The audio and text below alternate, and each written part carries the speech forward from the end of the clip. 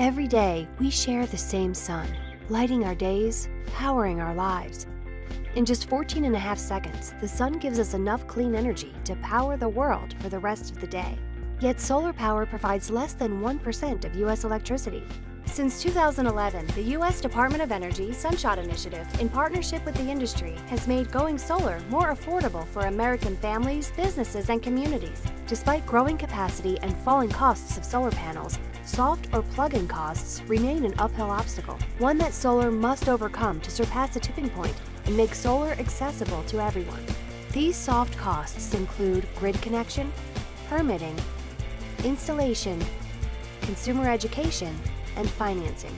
And they account for as much as 64% of the total cost of new solar systems. As we move towards our clean energy future, we reach out to you in every crowd of consumers, businesses, communities, creatives, and entrepreneurs to identify and solve solar market challenges. Let's shape the future today. The Department of Energy needs your participation in the Catalyst Prize Program. The Catalyst Prize Program starts with ideation. Voice your solar problems online, form your team, and pitch a business solution to these problems.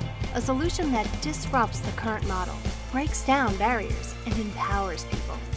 Teams with compelling solutions will compete to rapidly develop their prototypes using online super communities of designers and developers.